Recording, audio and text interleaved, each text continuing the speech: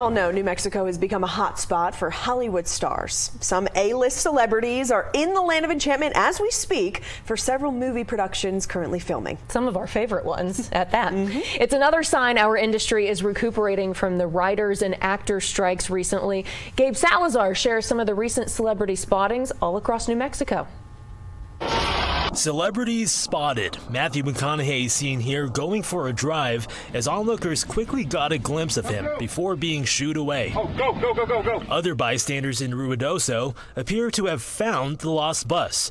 Production of the movie is currently underway now through the rest of the week. According to the Ruidoso Film Office, more than a thousand local extras were cast for the movie, including managers of local theater Sierra Cinema, Selena, and Mark.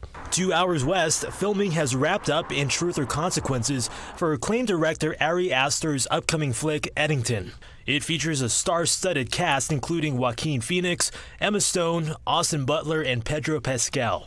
The Gladiator star seen here supporting local coffee shop Mile Marker 7, taking pictures with the girls behind the counter. Pedro Pascal definitely made this girl's day.